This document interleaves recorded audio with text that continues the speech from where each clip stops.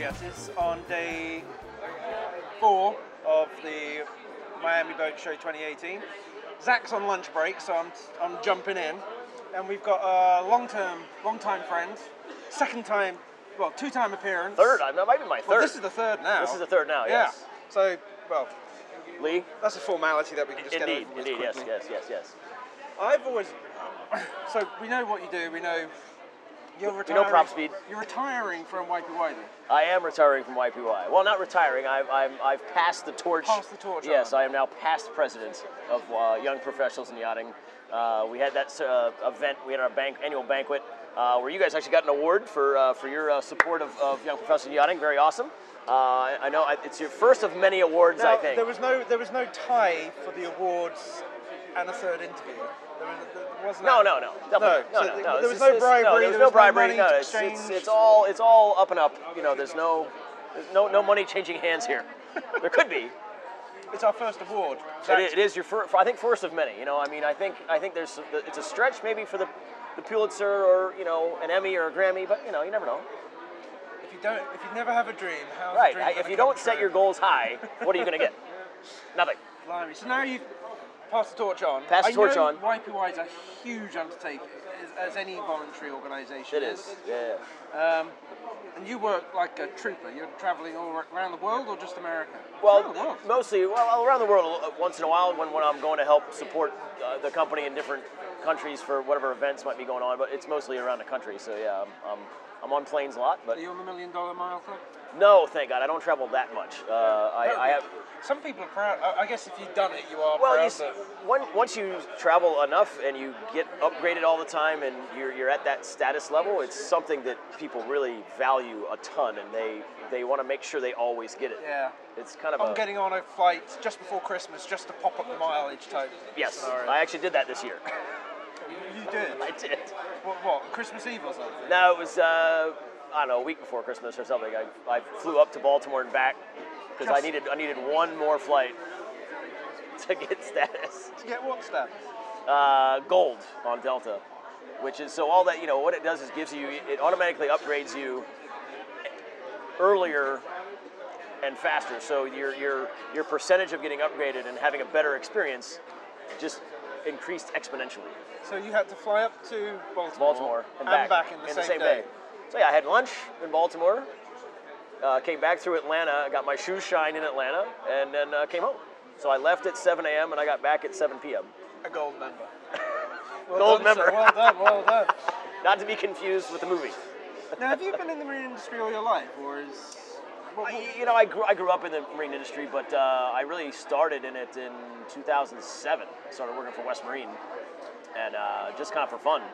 And then it grew into a career because I met uh, the market team manager that was handling the wholesale division in, in Maryland, and I was working for the mortgage a mortgage industry, a mortgage company, and uh, that's right when you know they were all tanking. Bloody hell. And so I left and started working with West, and the company, the mortgage company I was working for, went bankrupt and was gone a month later. So it was really good timing. bloody hell. Yeah, Wow. What was it like at West Marine then? Because it's a, it was a blast. I, I tell you what, I've always, I, I kind of assumed, not assumed, but drilled it down into like three or four ways to get into the industry. Military service Yep. in the Navy, and you move across. You do crew, and you work on a boat. Yep. Um, can't remember what the other one was, but the, other, the last one was you work for a media company, and then that's where you then move on because you know the network. Well, I but gotta tell you- actually, West Marine is a very probably a, responsible for a lot of jobs here in America. a ton. There, there is. We should start a group because I mean, you just hear at this show. There's probably maybe 50 people that worked at West Marine at some point, and now they're at whatever other company, and they're still in the industry, and that's where a lot of us got our start. You know, you. You, it, it was either working for a store because you, you, you love boating and that's where you wanted to go and get a good experience, Or you wanted the discount. or you wanted the discount. I mean, that's certainly where I. Uh, absolutely, are you kidding? Wait, retail? I'm no, no. How buying- about 50% off? Yes, I'll, I'll, I'll, I'm buying I'll a work. boat. How am I going to do it? I work for West. Yeah, right, exactly. and so that was the, that's how I started. It was, and I, I had a, a blast working there. It was just a lot of fun. You were there for how many years? Uh, Assuming nine years. Nine. Yeah, so I started in, in Annapolis, and I was the I handled the whole state basically for sales, like calling on boatyards and whatnot. And then I came down here to Fort Lauderdale in 2013 and uh, was here another two years. And then I started working with Propspeed June of 15, 16. Good lord. Nine years at West Marine. Yeah. And I, you know, some of my best friends, you know, that's how I met some just amazing people. Yeah. You know, a lot of them are still there as well. I mean, it's uh, it's a great company. So, let's just get back before West Marine then. Yep. Into the mortgage days. Yeah, yeah. Because I've, a lot of people come from, well, a lot of people that I know come from what I would consider a very boring off 9 to 5 office job. Right. And come to, you know, this is work right now. Right. Th- th- Yeah. Genuinely, this is, It is. what we're doing We're- right now. Having a drink. But it is. Talking to people.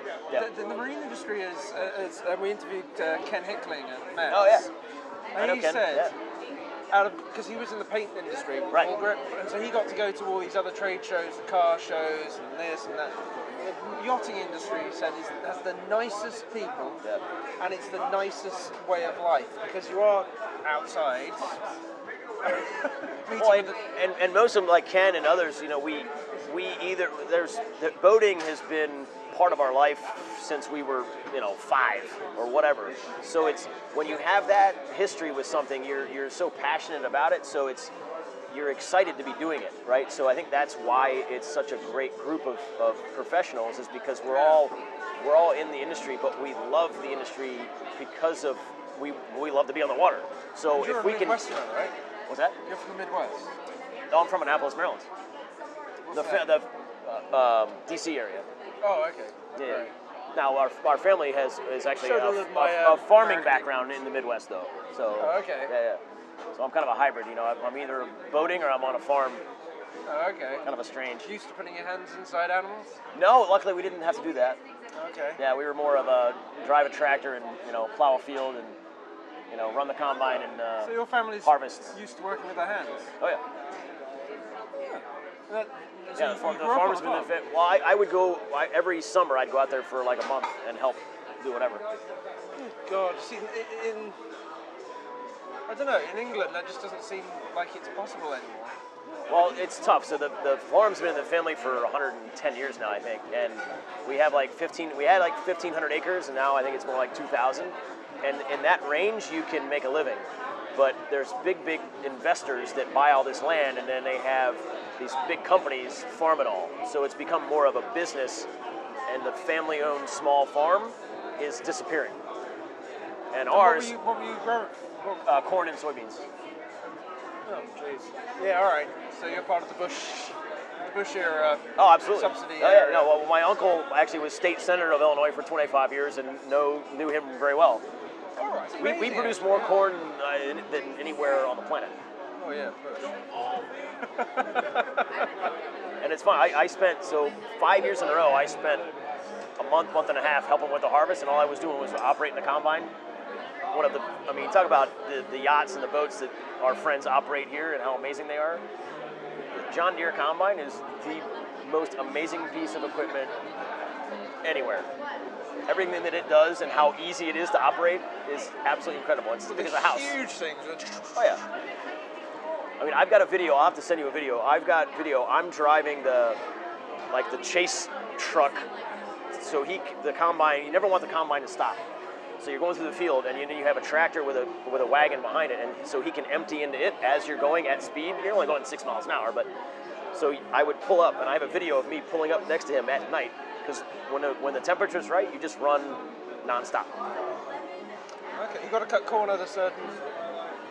Uh, so moi- moisture level is what you're after. So Oh, sorry. If, as long as it's dry, yeah. So when when the combine does what it does, it, and you end up with just the kernels in the, in the back, right? And it's all about moisture level because if it's too the moisture level is too high, you've got to dry it because you can't store it or it'll it'll, it'll ruin it. So it's because it's got to be able to tran- it's got to be able to get transported to wherever it's going. God, do you miss any of this, or are you just glad that you can see it every now and again when you go home? Well, I so my you know my cousin and my and his son do it every day. I could never do it every day.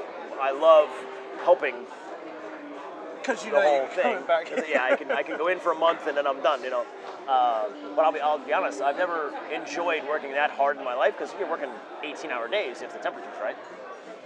I don't know. Sir, thank you. Thank you.